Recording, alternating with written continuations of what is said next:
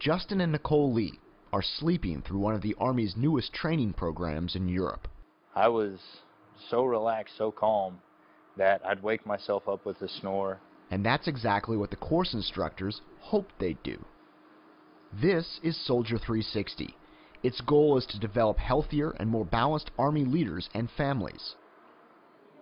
Its methods are unusual, but then so are its results. People say things like they're sleeping better, they're reconnecting with their spouse. We had in our first iteration a spouse say that you, you gave me back the man that I married years ago. So begin to flow with The Lees hadn't been married long before Justin, a staff sergeant in the 1-4 Infantry Battalion, deployed to war. The stress and anxiety of separation was a shock to them both.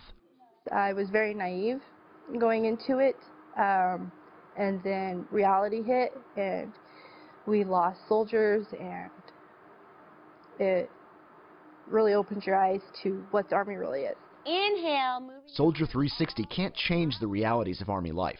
What it can do is use resources that already exist in Army communities, such as acupuncturists and yoga instructors, to develop tailor-made solutions for Army families to deal with that stress.